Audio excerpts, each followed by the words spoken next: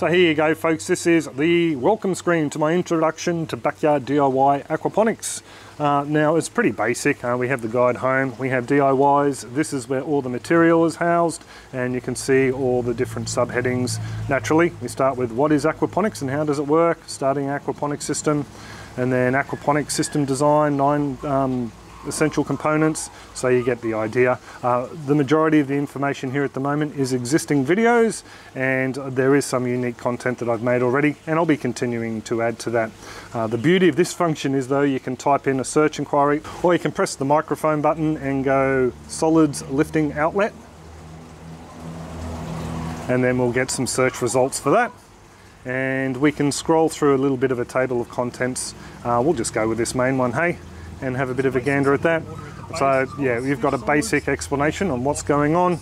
We can follow along with a transcript and with this transcript, and just bring the video back, with this transcript we can jump to wherever we want and basically read along, see something that interests us and jump down to that area there.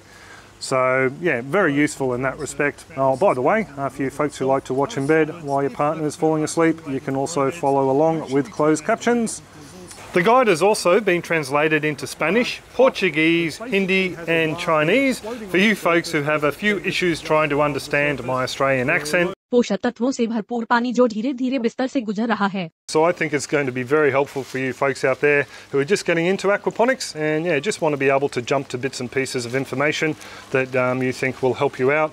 So what really sold me with jumping on board with these Retrieve folks is the fact that I can add content to this guide down the line. It's totally interactive and that you guys can ask me questions, get two free ones. It's just basically an easy way for you to jump the queue and get your question answered within 24 hours because I can't keep up with all the comments on YouTube. Very sorry, I try to, but I just can't.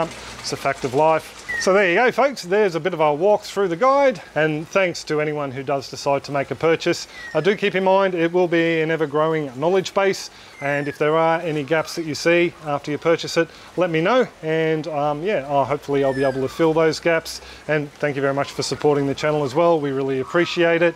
Now to purchase one of these guides as a gift, what you have to do is jump on over to the sales page and pop a guide in the cart. From there, you'll be taken to an account setup page if you don't already own a copy of the guide for yourself. And there you just create an account using either your online Google profile or you can use an email. Once your details are filled in and you click the create button, you'll be taken back to the checkout page where you can select this as a gift. From there, you'll be taken to a gift options page where you can add in the email address of the person you'd like to receive the guide, and you can also add in a little bit of a personal message as well if you like.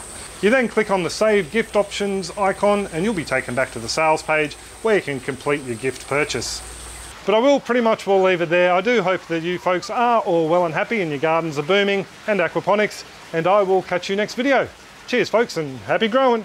Uh, the beauty of this function is though you can type in a search inquiry or press the microphone button and go, whoops,